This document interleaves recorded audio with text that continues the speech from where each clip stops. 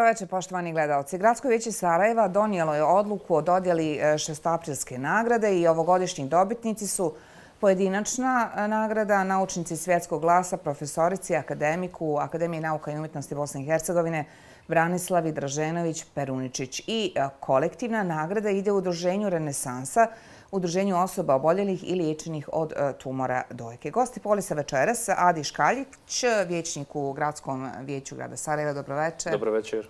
Toni Vukadin, također vječnik u Gradskom vijeću Sarajeva. Dobro večer. I vaš kolega Vedran Dodik. Dobro večer. Dobro večer. Jučer smo saznali ko su dobitnici ovogodišnje šestoaprilske nagrade e, grada e, Sarajeva. Vi ste, gospodine Škaljić, ujedno i predsjednika odbora za dodjelu šestoaprilske nagrade. Tjesna utrka je bila za pojedinačnu nagradu. Tako je. Malta ne jedan glas je odlučio dobitnika ovogodišnje šestoaprilske nagrade.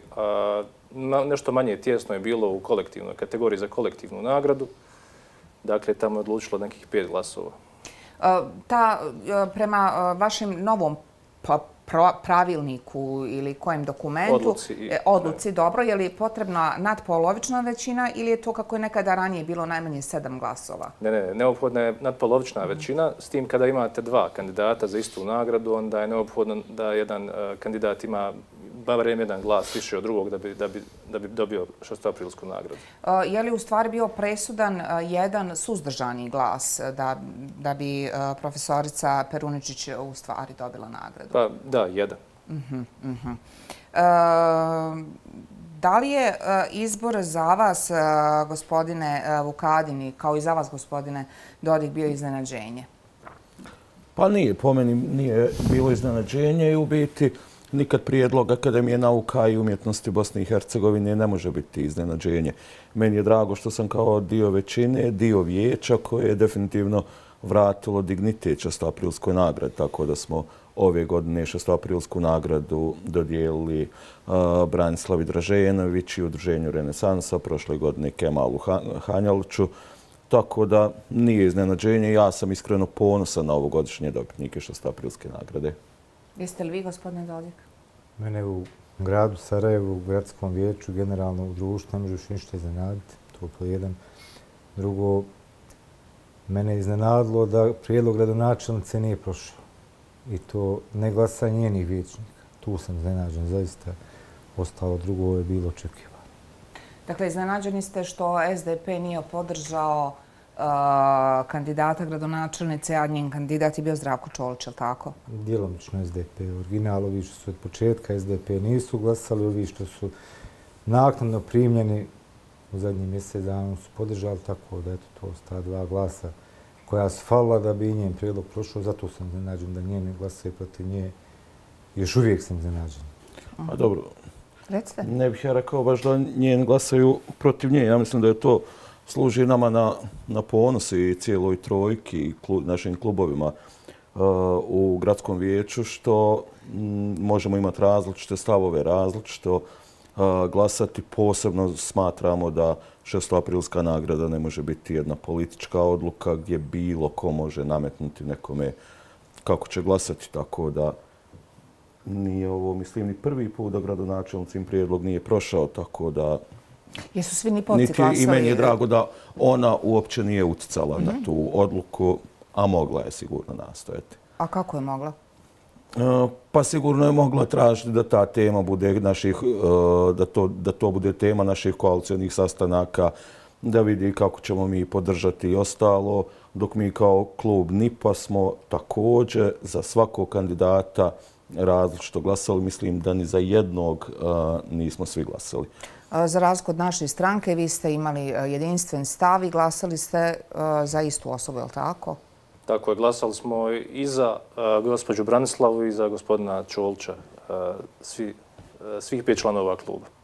E sad mi objasnite, molim vas, šta znači to glasili ste za, i za gospodina Čolča i za gospod, i gospođu Branislavu? Pa jeste, naime, šestasprilsku nagradu mogu dobiti najviše dva dobitnika uh iste godine, samo u slučaju da imaju jednak broj glasova, e, jednak nadpolovičan broj glasova. Uh To se ove godine nije desilo, ali ono što se tiče glasanja, klub naše stranke je tako glasao što se tiče pojedinačnih nagrada, dakle za oba prijedloga.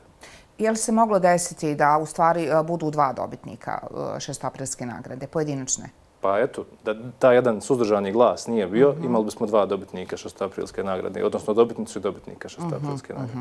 Mhm. Ono što je interesantno, a u pripremi za ovu emisiju, jednostavnim googlanjem zaista na stranici Gradskog vijeća, naišla sam na radni materijal To je ovaj dokument koji možete da pogledate. Odluka o dodjeli pojedinačne šestaprilske nagrade grada Sarajeva jeste radni materijal, ali vidite da je ovaj, već napisano, trebalo da bude samo potpisano i da dolje bude upisan datum, da se dodjeljuje Zdravku Čoloču. Isti dokument nisam našla za profesorcu Draženović. Ne znam kako Nalazi, Nalazio se on tu mhm. slit, sigurno jer u biti i mi sami na vijeću otvorimo isti taj materijal. Tako da tu su bile četiri tačke dnevnog reda i svaka je bila prijedlog odluke od odjel 6. aprilske nagrade uh za Branslavu Draženović, za tim Zdravku Čolča i kolektivne dobitnike. Jednostavno takva je forma svakog prijedloga koji se nalazi Kao i sa svim ostalim prijedlozima, ako je na dnevnom redu, on će biti predstavljen kao da je maltane usvojen, samo što imate u gornjem desnom čošku prijedlog, piše i nema potpisa predsjedavajućeg koji to treba da potpiše. Dakle, to je... Ja nisam vidjela ovaj, da piše prijedlog, nego odluku i baš zbog toga sam i tražila od kolege da se uradi, ovaj, vidite da ne piše prijedlog, nego da piše odluka o dodjeli pojedinačne šestaprilske nagrade, kao što to piše i tamo. No dobro, možda je slučajnost, možda sam ja slučajno izgooglala i najša novu informaciju. Da, rekla sam ja da se radi o radnom materijalu. Šta kažete vi, gospodine Dodik? Pa, kao i do sad ove tri godine, podjela na mi i vi, trojka, četvorka, opozicija, koji su vaši, koji su naši, evo to stalo nas prati od početka. Nažalost, da nas imamo to što imamo.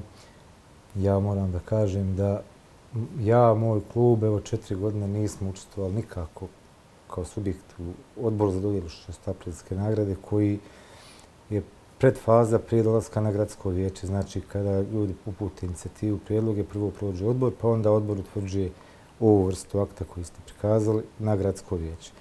To je prekrišaj jedan dogovor, obećanja, hajmo reći, ove vladajuće garniture koje kolege pripadaju, da će se rotirati svake godine uđu novi ljudi u sastav odbora za dodjelu nagrade.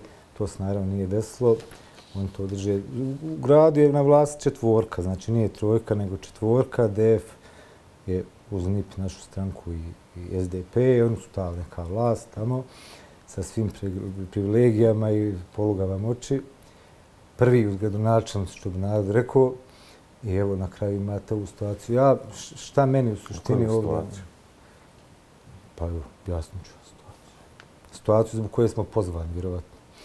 Ovaj, do sada svih godina, ja sam nekad bio član odbora dodijelu Štapljske nagrade, vrijeme dok je to bio Rahmetli Tono Filipović, Mihajl Imamović, ta neka imena. Tad je to malo drugčije se radilo i imalo je držao se taj dignitet. Kasnije on malo ta nagrada devalvirana, kad pogledate malo zadnjih par godina koje je sve dobio, mene da je ko predložio, ja bih zahvalio prije glasanja, mislim. Odmah tako da kažem, bez da niko pogrešno shvati. Ovaj, sam način glasanja je do sada bio način da se radilo tajno glasanje. Da, o tome ćemo. I da ako mhm. imate dva kandidata, glasati ili za jednog ili za drugog. Znači, to je, tajno glasanje ne možete drugačije. Ovo je pogrešan princip da vi možete, imate dva prijedloga i ja ako sam po abecedi ili po bilo čem, tačka 1, nađe se jedan prijedlog, ja glasam za njega, meni se poslovnički sad ostavlja mogućnost da glasam i za naredni prijedlog.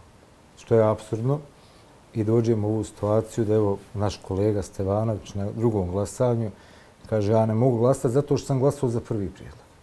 Čovjek je tako shvatio. Razumijete? Znači, proceduralno se napravilo nešto što nije običajno u demokratskoj praksi, da ako imate dva protukandidata, da možete glasati i za jednog i za drugog. Znači, biramo ili ili.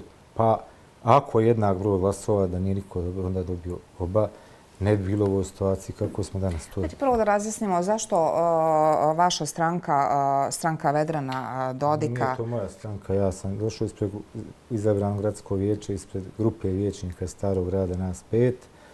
U klubu sam sa kolegom iz Novog Sarajeva i nismo samo mi, još neko... Htjela sam da pitam zašto nije u odboru. Zato što ne daju. Dobro, je li tačno ovo?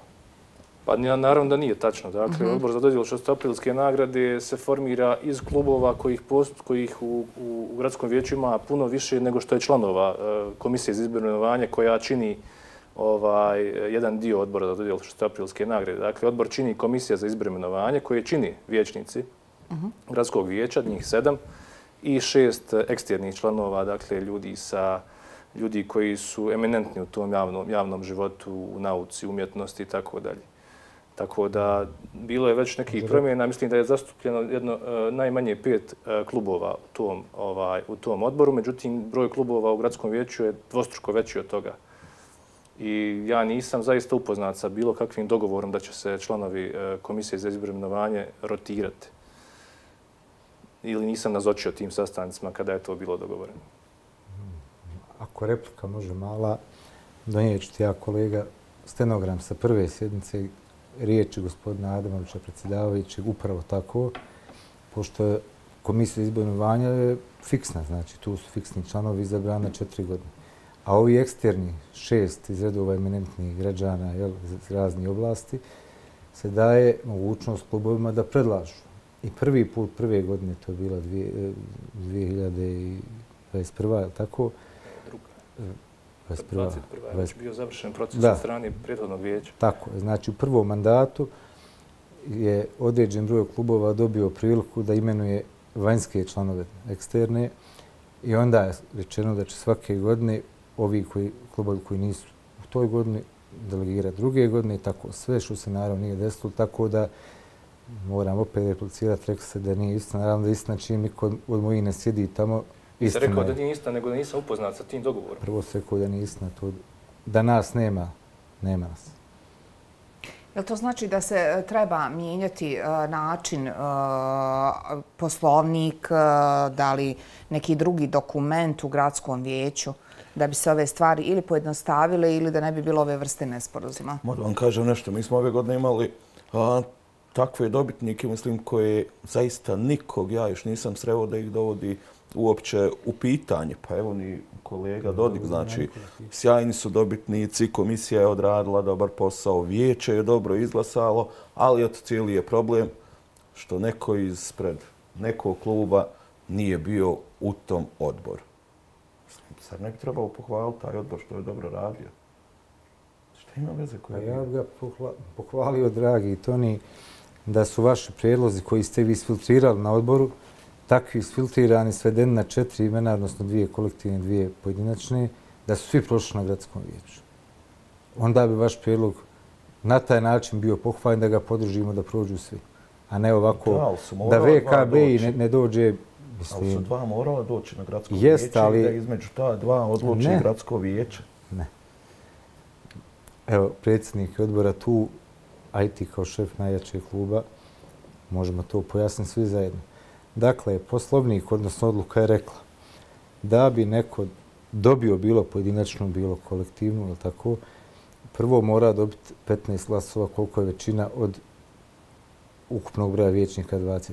Ako su dva u pitanju, prođe onaj koji je dobio više. Znači, jedan dobio 18, drugi dobio 17, prolazi ovaj sa 18.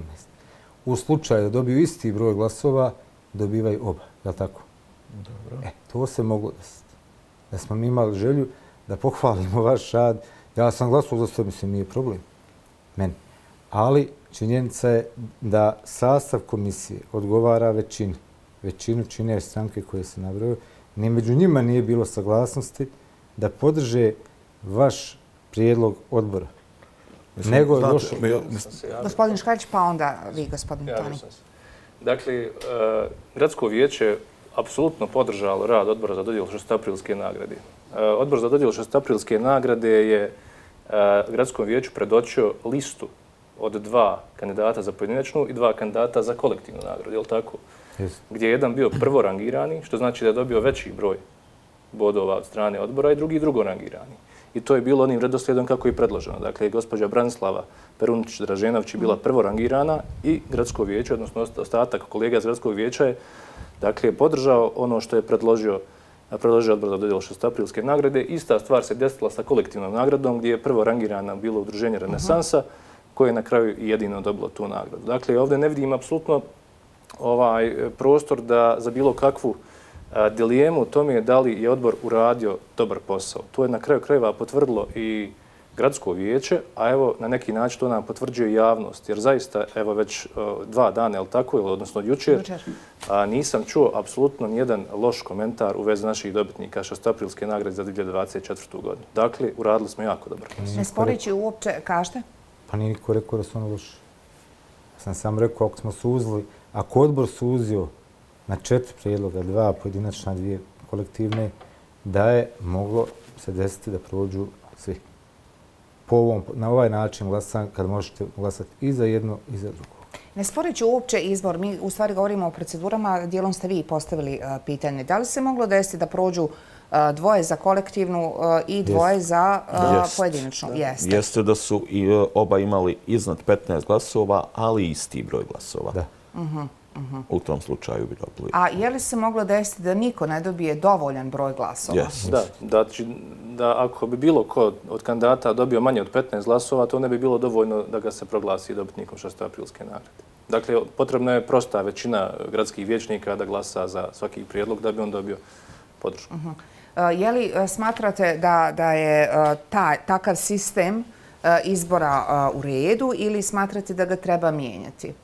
Pa on je nedavno mijenjan. 22. je li tako? Jest. Ja i dalje stojim za tog prijedloga zato što nam je donio apsolutno najkvalitetnije dobitnike šestaprilske nagrade, pogotovo ako poredimo sa periodom mhm. netom prije mhm. nego što je promijenjena odluka. Ja neću ovdje spominjati imena dobitnika koji su bili u 2019. i 2018. godini. To javnost jako dobro zna. Molim vas da uporedite imena određenih dobitnika iz tih godina i iz godina od kada je odluka promijenjena. Dakle, uh, da bi odluka vratila svoju važnost, potrebno je bilo smanjiti broj laureata. Mi smo imali po šest laureata svake godine, dakle iz, iz različitih oblasti. Na ovaj način, e, na ovaj način smanjivanjem broja, e, ukupnog broja mogućih e, dobitnika šestaprilske nagrade, mislim da je na neki način i, i vraćena važnost toj nagrade. Mhm. Ja bih potpisao da svake godine imamo po jednog dobitnika iz pojedinačne i, i kolektivne. Iz, I kolektivne, naravno, u slučaju da se desi da imate, da gradsko vijeće procijeni da imamo dva jednako kvalitetna ovaj e, prijedloga, što se praktično nije nikada desilo. Evo, od kako, kako je promijenjena odluka, imali smo priliku i prošle godine da, recimo, izaberemo dva sa jednakim brojem glasova, nije se desilo. Da. E, uh, šestoprijska nagrada je nagrada koja tako nekako gordo zvuči zaista i datira iz 56. godine, znači to nije nagrada koja je ustanovljena e, jučer. E, zašto je e, glasanje je bilo javno, ali zašto je e, sama sjednica bila zatvorena za javnost? Da li treba da bude zatvorena za javnost? Posebno, evo recimo, iz perspektive ljudi koji gledaju televiziju Sarajevo, e, a znamo da mi prenosimo redovno i sjednice gradskog vijeća. Sjednice su bile e, za, ako se ne varam, ovo je moj dakle, prvi mandat u gradskom vijeću i prvi e, put sam član ovog radnog tijela za izbor e, dobitnika šestaprilske nagrade. Uvijek su bile sjednice na kojima se glasa za dobitnike tajne. Dakle, odnosno zatvorena za javnost. S tim da se, do, da se do prošle godine, čini se, čak i glasalo, glasalo tajno, pa smo imali jedne ovaj, nespretnu okolnost da određeni vječnice nisu mogli da prate instrukcije za glasanje, što je promijenilo njihovu volju praktično. To su poslije sjednice i sam priznali. Tako da je e, u hodu se u stvari mijenjala odluka, e, pratijeći ono što su prepreke za njeno normalno provođenje. I upravo smo u, u, u procesu i došli do ovog rješenja. Dakle, da je e, sjednica zatvorena za javnost, ali da se glasa javno, a ne preko određenih listića koji su nažalost, nekim od kolega i kolegica Pa možda bi onda bilo bolje da su sjednice i otvorene za javnost, možda baš zbog tih listića. Šta mislite, gospodine Dodik, ili vi, gospodine Kad? Ma da vam kažem, ja lično se zalažem u uvijek da svo glasanje u biti bude javno.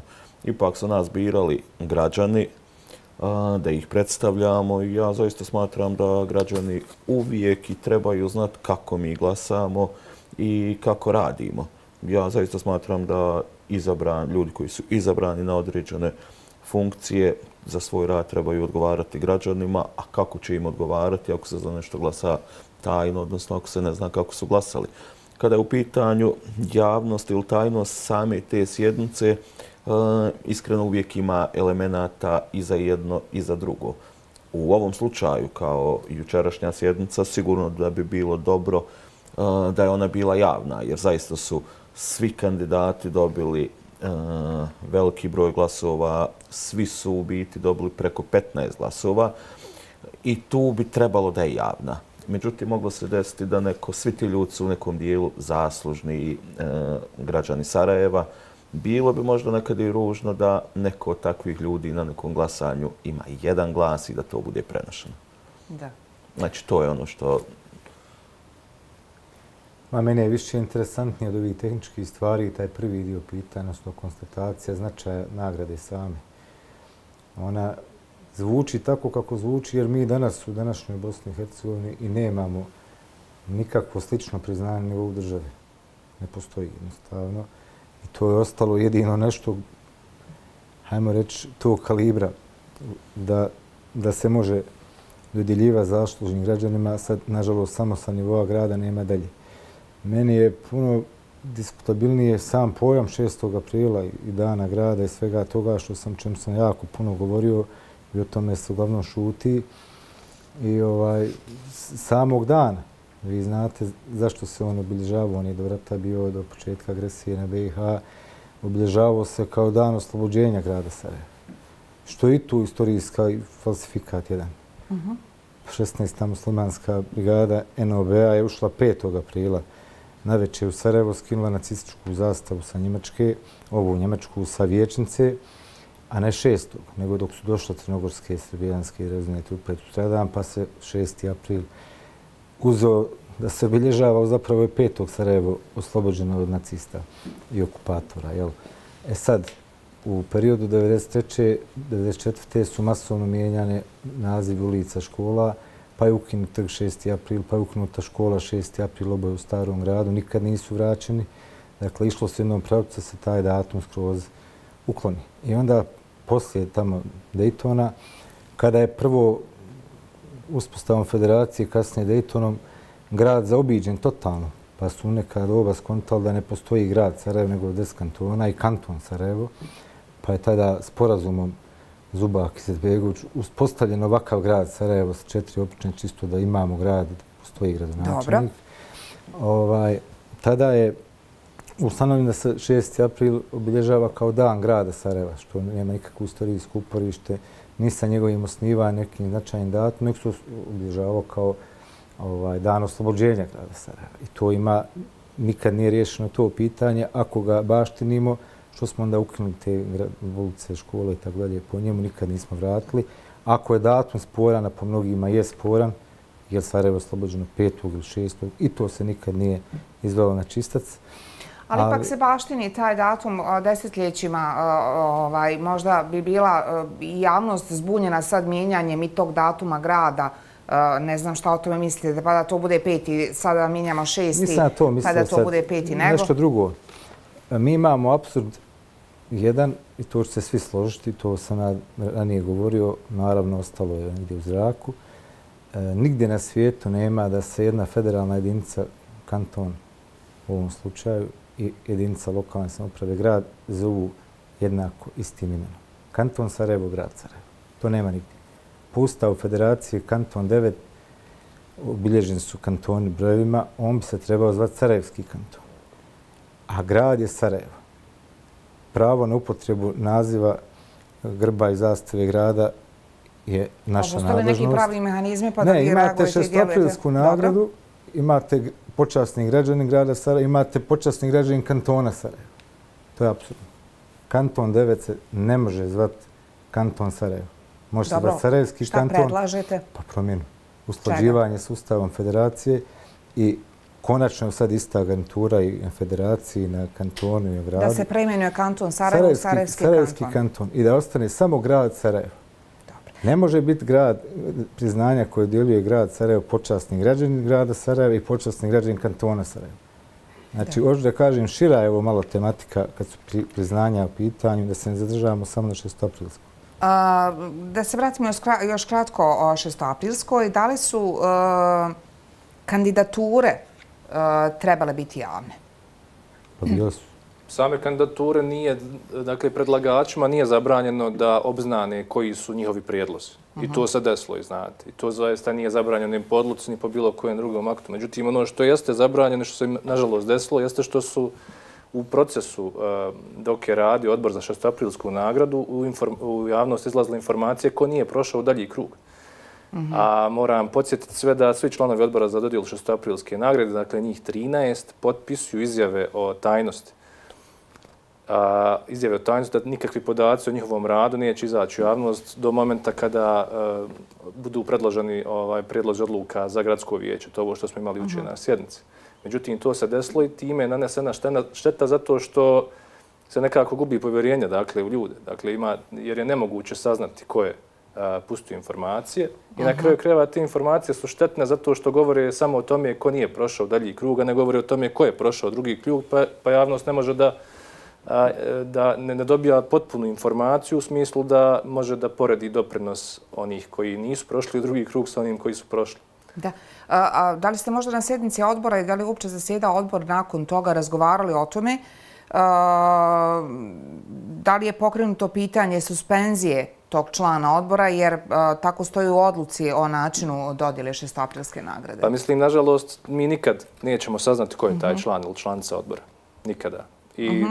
to u principu i jeste taj taj dugoročni problem koji ćemo imati sa, sa, sa time, zato što je niko prvo neće priznati da je, jel tako, narušio mhm. tajnost odlučivanja, ovaj, nažalost neće priznati, a da se neka ozbiljna istraga sprovede, gradsko vijeće, gradski vijećnice zaista nemaju, nemaju kapacitet da takvu istragu sprovedu. Tako da, eto, nadam se i ponavljam da narednih godina se to zaista neće dešavati, jer, jer mislim da je izrazito štetno za kredibilitet nagrade da takve vijesti izlaze u javnost. Da, procurila su imena ovaj, e, kandidata, između ostalog i Tomislava Cvitanušića. Njega je predložio Bogić Bogićević. E, a u razgovoru s jednim od vaših kolega e, rekao mi je, neću ga imenovati, rekao mi je rezult, glasanje je rezultat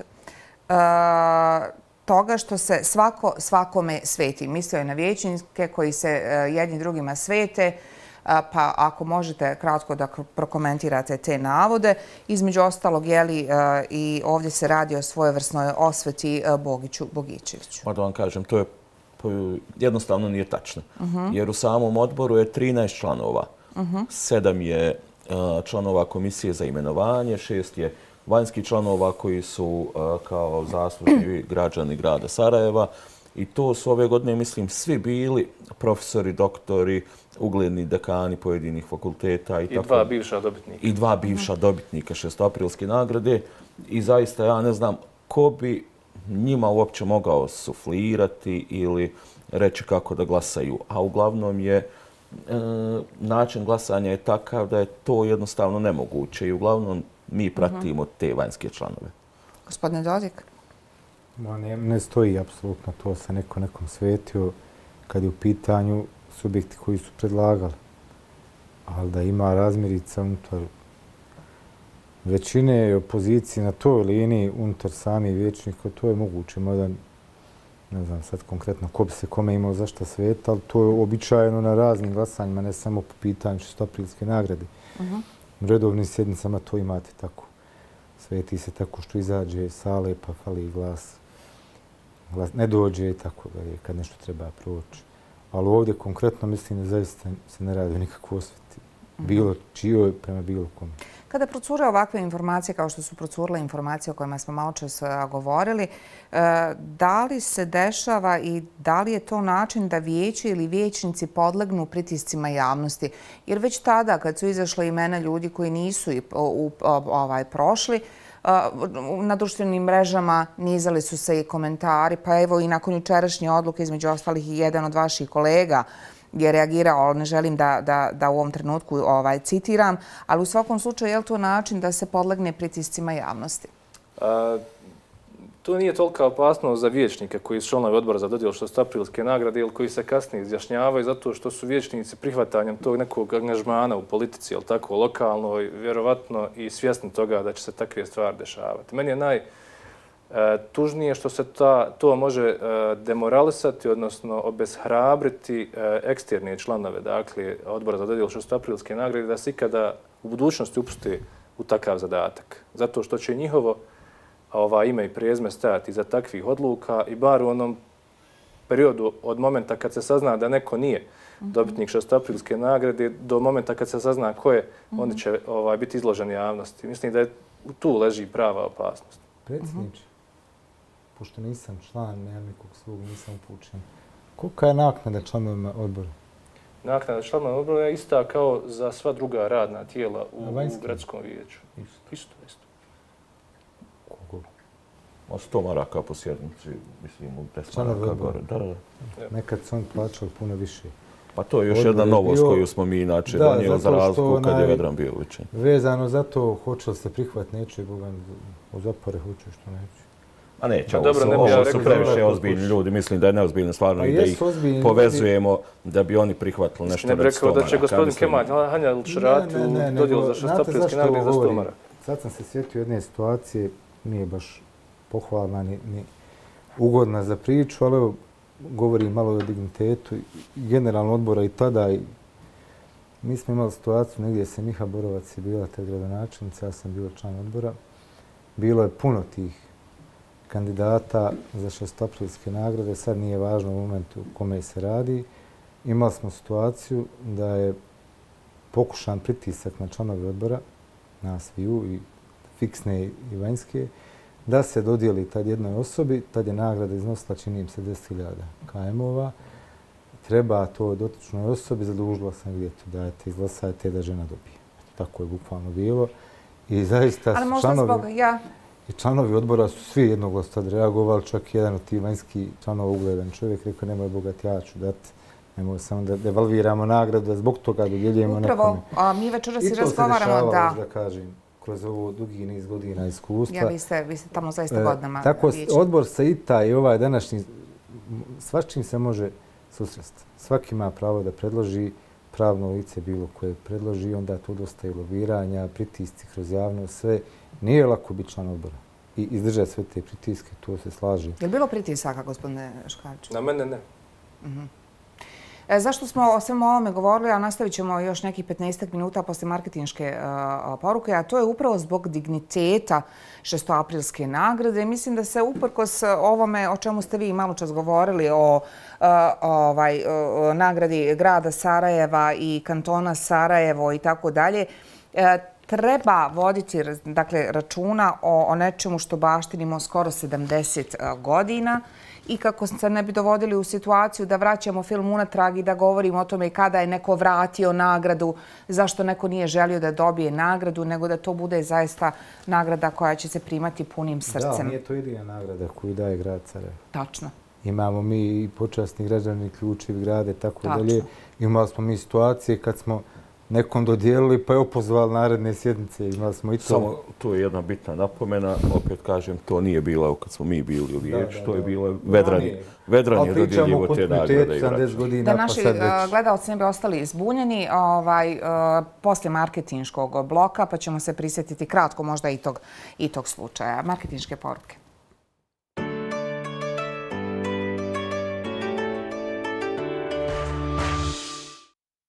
Kvalitetna hrana. Savršen ukus. Svaki dan uz piletinu ovako. Film Darka Nikolića. Mi mu ne možemo ništa. Penzionisam se, nisu više u službi. Ne ubijam više. Dao mi je dva dana. Osveta. Ja mu verujem. Nikad ne stari. Poslednji strelac u Sinestaru. Megle krem juha. Neodoljiva i kremasta. Obogaćena vrhnjem. Samo zagri i uživaj.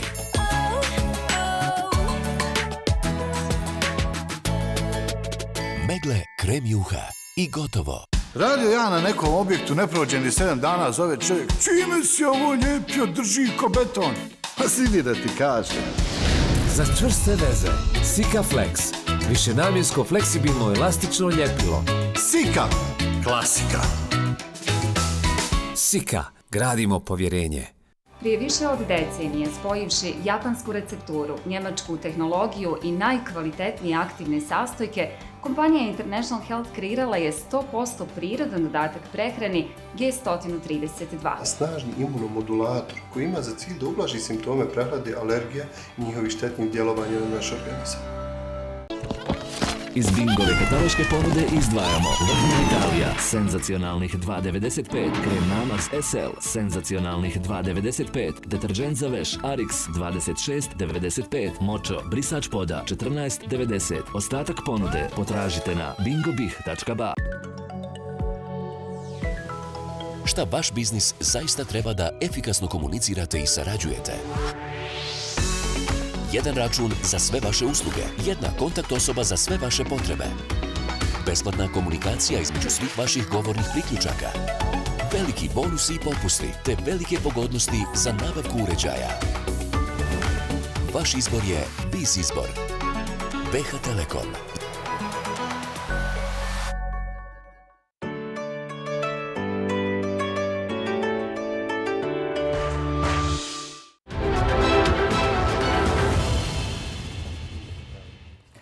Gledate Polis, poštovani gledalci. Večerašnja tema je dodjela 6. aprilske nagrade, a nakon što je jučer Gradsko vijeće donijelo odluku o dodjeli 6. aprilskih nagrade, još jednom podsjećam, ovogodišnji dobitnici su profesorica Akademik Akademije nauka i umjetnosti Bosne i Hercegovine Branislava Draženović-Peruničić i kolektivnu nagradu je dobilo Udruženje Renesansa, Udruženje osoba oboljelih i liječenih od tumora dojke. Eh, inače, šestaprilska nagrada dodjeljuje se od 1956. godine. Eh, 2009. to je bila jedina godina kada nije dodjeljena, ali tada je pravilnik bio drugačiji. Naime, nijedan od predloženih kandidata nije dobio sedam eh, ili više glasova koliko je bilo potrebno te 2009. Kako komentirate kredibilitet šestoaprilske nagrade, posebno u posljeratnom periodu, gospodine Vukadin? E, pa dobro, mislim da ta nagrada i dalje posjeduje kredibilitet. Kao što je kolega Dodik ranije govorio, ona je trenutno vjerovatno najveća nagrada koja se, koja se dodjeljuje u, u cijeloj državi Bosni i Hercegovini. Dobitnici su ipak u najvećem slučaju zaista ljudi koji su i zadužili, i zadužili ovaj grad. Sigurno da je tu bilo, e, pa može se reći i par grešaka, međutim, zasigurno je nagrada i dalje ima svoj kredibilitet, a to je najbolji dokaz i same kandidature i ovogodišnje posebno, kao i oni koji su ih kandidirali. Mislim, mi imamo evo i ove i prošle godine dobitnike su kandidirale Akademija nauka i umjetnosti Bosne i Hercegovine, e, također mnoga druga pravna lica i to je dokaz da ipak nagrada ima kredibilitet i dalje. Gospodin Dodik? Pa generalno se slažem, mada imali smo i sivih tečaka proteklih godina gdje sigurno su ljudi koje ja, a i većina javnosti, ne bi dodijela ni puno, ni nagrade puno niže ranga kamo love, ali to što je tu, je demokratija je takva. Većina glasa, većina odlučuje. Prije nego što smo otišli na kratku pauzu, prisjetili ste se jednog događaja. U stvari, bila je, bila je, sporno, bila je sporna dodjela šestoaprilske nagrade. Ne šestoaprilske počasni građanin. Da, to je bio počasni građanin, počasni građanin između ostalog. To je bio nekadašnji gradonačelnik Zagreba Milan Bandić, a vi ste, vi ste me podsjetili na još jedan slučaj. Profesor sa Buč fakulteta, uh -huh. jesto bojica su dobili, to u različitim periodima bilo i oba puta je nagrada, to nije nagrada, to priznanje koje je vidio grad Sarajevo, drugim postupkom. Znači, uh -huh. predlagači su gradonačelnik, u većini slučajeva gradsko vijeće donosi i mi smo donijeli oba puta, raniji saziv, ne ovaj, ovaj, nagrade i na narodnoj nekoj sjednici su opozvane. Gradonačelnik Zagreba je tada imao jednu spornu, nečasnu izjavu vezanu za Srebrenicu i nakon toga je gradsko vijeće reagovalo donijelo odluku da mu se pozove dodijeljena već nagrada, međutim on ipak došao na dan grada, iako je nije dobio, to došao je. Da, on je bio prisutan na svečanoj sjednici. A profesor je bio upitan zato što je ambasada Republike Turske reagovala, tvrdeći da je on blizak tamo Gulenovcima i tako. E, na neki način sve ovo drži i pažnju javnosti ako slažete, ako se slažete kada je riječ o ovoj nagradi, ali međutim, Istora će pamtiti i to da je veliki književnik Marko Vešović dobitnik šestoprilske nagrade, ali on odbio da primi ovaj, ovu nagradu. I to su neki od slučajeva na koje sam naišla pripremajući se e, za ovu emisiju. Gospodine Škaljiću, kako vi gledate na dostojanstvo ili dignitet ove šestoprilske nagrade, najvećeg nagrade glavnog grada Bosne i Hercegovine? Pa Pošto, kao što sam u jednom od ranijih odgovora na vaše pitanje rekao, mislim da ono što radimo u zadnje dvije, tri godine na smanjivanju broja, ukupno, ukupnog broja dobitnika je upravo rad na jačanju uh, integritete i renome ove nagrade. Ono što se prije dešavalo, dakle, uh, po meni iz toga trebamo učiti i okrenuti se, okrenuti se budućnosti u smislu da na jedan strateški, promišljen način dodjeljujemo ovu nagradu ili ne dodjeljujemo. Dakle, apsolutno nije ni sporno da nagrada svake godine ne mora biti dodijeljena. Uh, ono što je meni drago ove zadnje dvije godine koliko obavljam funkciju predsjedavajućeg ovog odbora, da zaista imamo fenomenalne dobitnike, dva uh, akademika, člana uh, akademije, uh, ljude koji su u svojoj dugogodišnjoj karijeri, to su karijere koje su duge preko 60 godina i u slučaju gospodina Anjelča i u slučaju uh, gospođe uh, Draženović, to su karijere koje traju preko 50 godina uh, i, ljudi koji danas stvaraju. I to je nevjerovatno. Od ti ljudi nikada, dakle, uh, to sam ubjeđen, uh, se neće desiti stvar kao što se desile sa, evo recimo, uh, gospodinom Bandićem kojeg je spomenuo, ovaj kolega Dodik. Dakle, to su ljudi eh, koji će za, do, do, do kraja svog života moći biti ponosni na to priznanje koje je dodijeljeno, a i mi ćemo moći biti ponosni da kažemo da su to naši dobitnici, naše nagrade. E, upravo eh, eh, sljedeće pitanje ide na tom fonu, pa ćemo nekako polako i završavati ovu emisiju. Posljednjih sedmica često smo razgovarali o temi kandidatu, odnosno otvaranja pregovora Bosne i Hercegovine s Evropskom unijom i znala sam pitati ljude E, da li Evropskoj uniji više treba Bosna i Hercegovina ili Bosni i Hercegovini treba više Evropska unija. A vas pitam, je li Sarajevu više treba šestoprilska nagrada ili, ili je nekako obrnuto? Znači, da, kako na to gledate? Pa dobro, grad Sarajevo i šestoprilska nagrada su praktično neodvojivi. Ona je, šestoprilska nagrada je sama je dio Sarajeva i ja opet ponavljam, mi smo ponosni na ove naše dobitnike u praktično cijelom mandatu i ne samo šestoprilskih nagrada, nego i svih priznanja grada Sarajeva. Evo, mi smo prošle godine dodijelili nagradu počasni građan grada Sarajeva posthumno Milanu Mladenoviću. Znači na taj način odali priznanje jednom čovjeku koji je, kada je bilo najteže Sarajevu, ukazivao na ono što se dešava, dešava u Sarajevo i nažalost tek nakon evo gotovo 25-30 godina se sjetili toga. Tako da opet ponavljam, šestoprilska nagrada i grad Sarajevo su jedno bez drugog ne ide. Gospodin Dodik. Pa naravno da je potrebno i šestoprilska nagrada gradu i obrnuto. Međutim, imate jedan problem drugi. Veliki je broj zaslužnih građana i ovim tempom neki neće, nažalost, ni doživiti, neki nisu doživili, a zaslužni su bili samo zato što je neko nije predložio na vrijeme ili neka procedura se desila i tako dalje. Mislim da bi možda trebalo neku drugu praksu uvesti. Ja sam to vidio kroz pobratinske gradove obilazeći. U nekim gradovima i glavnim gradovima drugih država se priznanja godišnja djeljuju na drugi način. Za ostvarenja ostvarena u protekloj godini. I onda nema tu puno širenja. Vi sad imate prijedlog e, estradnih umjetnika, drugi naučnih ljudi akademske zajednice koji su davno već, da kažem, zaslužili neprav neka postignuća zbog kojih trebaju dobiti znanje, ali do sad nije niko predložio i mali je broj nagrada. I trebalo bi nam 200 godina da mi samo u zadnji dvije generacije dodijelimo svim oni koji to zaslužuju.